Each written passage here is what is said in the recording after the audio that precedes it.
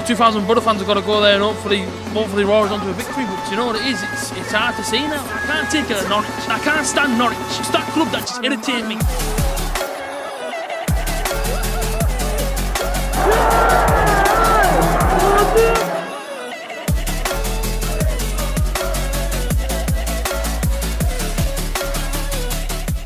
Yo guys, what's going on? Welcome back to another video.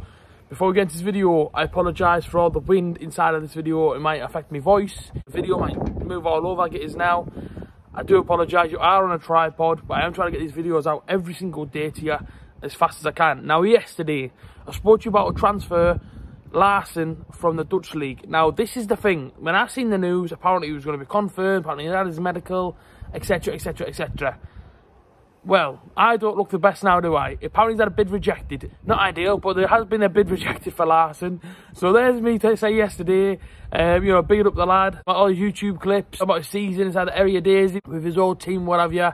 Expecting Middlesbrough to obviously announce him signing. I look a bit like a fool because, of course, I've done a video saying that Boro going to announce him. And now Boro's obviously had a bid rejected. So it doesn't look ideal, but let me tell you about it anyway. So Larsen, as far as I was concerned, as far as everybody else on Twitter, on Facebook, on all forums were concerned, we see an article going around. I've only done a video on whatever I've seen, um, and that's all I can do during the transfer window, try and bring you guys updates. I see the post that Larsen had his medical on Monday, trained with the first team Tuesday, and today should have been his announcement day, or even tomorrow should be his announcement date. Now, from what I'm hearing, that isn't the case, and the bid has been rejected. 8.5 million pound transfer. Now, again, I said it about him yesterday. He's unproven. We don't know what he's inside the English game. We don't know what he's going to be inside the Championship. If they want more money, i.e., I don't know, 10 million for example, you give them 10 million. If they reject that bid, do we then go and pursue him? Because I'm thinking to myself, that's a lot of money that, you know, for a striker that isn't proven inside the English league. So it makes you think, you know, which way we're going to go about it now. Is Chris Wilder still wanting to pursue him? We don't know these things. But I seen it, and as far as I was concerned, apparently he was going to sign for us. All I seen on Twitter the last few days was apparently, you know, this lad was over the line, he was going to sign for us. Everyone get buzzing for it. 8.5 million pounds been accepted. It hasn't been. It's been rejected. And unfortunately for us, we've got a game in a few days' time, and we still need a striker. And at the moment, it's looking not very promising that we're going to have one in before QPR. I hope we do, but it's not looking very promising that we will.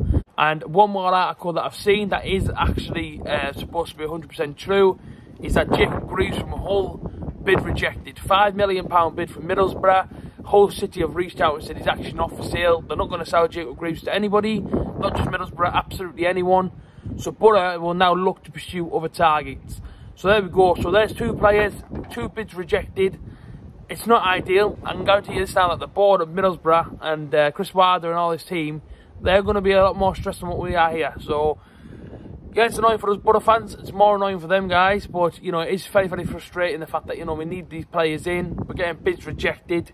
Other targets is the only way we can go about things. Who would you go and sign a striker if you were inside Chris Wilder position? And what defender would you go and get? For me personally, I've said it and I say it again. Adam Armstrong's a boy I'll go and get from Southampton. I don't know if we'd actually be able to sign him. I don't know if Southampton would sell, but if they did sell us him, it'd be a dream. Apologies for all the confusion around the uh, transfer speculation. As far as that's concerned, the last one was good to sign for us, and now, of course, bid's been rejected. So apologies if I look a little bit like a fool. Listen, I've held my hands up out and I admitted to it.